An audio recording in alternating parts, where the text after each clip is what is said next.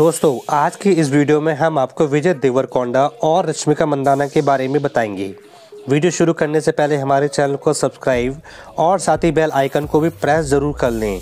दोस्तों, जैसा कि आप सभी जानते हैं, विजय देवरकोंडा और रश्मिका मंदाना के बीच रिलेशनशिप की खबरें बीते काफ़ी समय से सुर्खियों में हैं। कॉफ़ी विद करण में जब विजय देवरकोंडा और अन्य पांडे नज़र आए थे तो खुद एक्ट्रेस ने इस बात की पुष्टि की थी कि विजय और रश्मिका एक साथ हैं। हालाँकि बावजूद इसके दोनों ने रिलेशनशिप के मामले में फ़िलहाल चुप्पी साधी हुई है।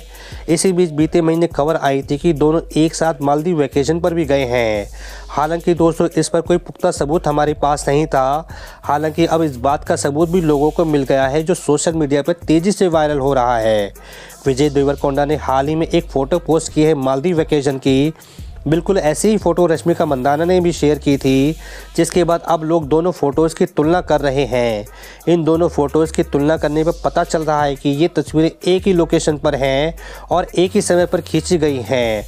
फैंस का तो दोस्तों ये भी तक मानना है कि विजय देवरकोंडा ने जो फ़ोटो शेयर की है, वो रश्मिका मंदाना ने ही क्लिक की है। एक यूज़र ने कमेंट करते हुए लिखा, विजय की ये फ़ोटो अक्टूबर मालदीव वाले ट्रिप की है।